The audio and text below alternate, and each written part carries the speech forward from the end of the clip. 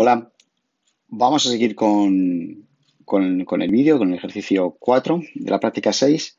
Ya teníamos generando un fichero, realmente no es un CSV. Eh, se hace ahora eh, cada temperatura, se ha acumulado unos cuantos datos. Ya veis que tengo un montón de datos porque está mandando datos cada 10 segundos, ¿vale? Pero lo que nos falta hacer un formato CSV, ¿vale? Es decir, lo que tengo que añadir es a este payload que aquí, que pone 21.12, le voy a añadir la hora.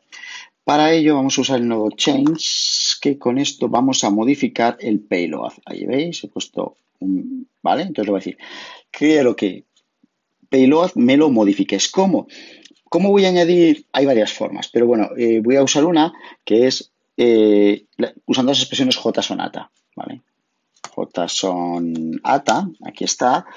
Em, es, un, bueno, es una forma de consultar y transformar el lenguaje, em, el lenguaje para, para JSON que soporta no-red y me permite hacer varias, varias cosas, ¿vale? Muchas cosas. Así que vamos a hacerlo. ¿Cómo lo hacemos?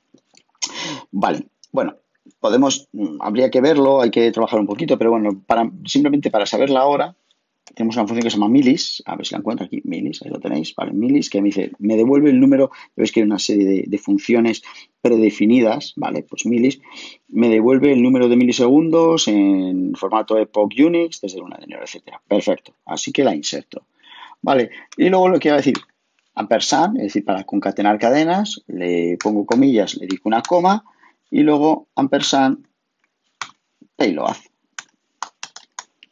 Así que ya lo tengo, es decir, tan sencillo como eso. Hacemos un deploy y ahora vamos a ver la diferencia. Ahora vamos a ver lo siguiente y vemos lo que estamos escribiendo.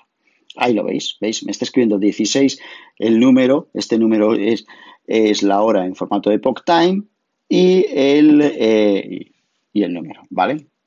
Así que eh, si vamos al fichero, vamos a ver cat temperaturas, CSV, ahí veis, ya me he empezado ya a hacer un formato CSV. Bien, lo voy a borrar, RM, no hay problema, lo borro y automáticamente, ya veréis que el automáticamente el nodo file directamente, en caso de que no exista, me crea ese fichero, ¿vale? Ya ha llegado una cosa, hago un cat temperaturas y ya tengo mis primeros dos datos. Voy bien.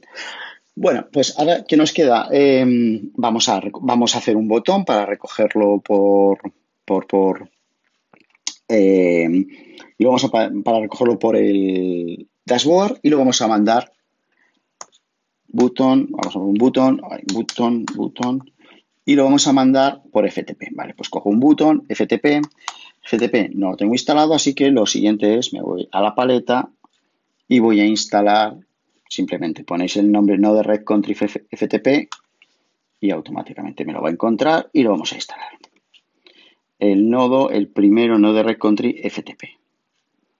Instalar. Lo instalo, lo que le cueste, no creo que mucho.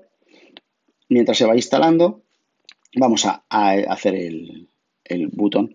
Bueno, lo voy a poner, bueno, aquí tengo varias cosas, pero creo que no tengo nada activado. Voy a ver qué tengo. Ahí veis, ya me lo he instalado. FTP. Bueno, vamos a ponerlo ya. Y vamos a ver dónde lo voy a organizar. FTP, ahí lo tenéis, FTP in me permite, ahí está, Entonces simplemente lo que voy a hacer es un botón donde lo voy a conectar, FTP, y le tengo que añadir el servidor FTP. Para añadir el servidor FTP, eh, hemos dicho que era Enrique, Enrique Crespo.com, el puerto era, no me acuerdo, 7021, ¿verdad? 7021. 7021, pero podéis usarlo vosotros en, vuestro, vuestro, en vuestra propia Raspberry Pi. El curso era, eh, o sea, el usuario es curso Cefire y la contraseña la que hemos usado en el curso. Así que ya lo tenemos. Así que directamente en lugar de list voy a hacer un put, ¿vale? Es decir, voy a mandar el fichero. Y ya tendría configurado el FTP. Así que lo siguiente que nos queda es configurar el nodo button para mostrarlo bien, leer y leer el fichero para poder mandarlo por FTP. Pero bueno, eso en el siguiente vídeo. Hasta luego.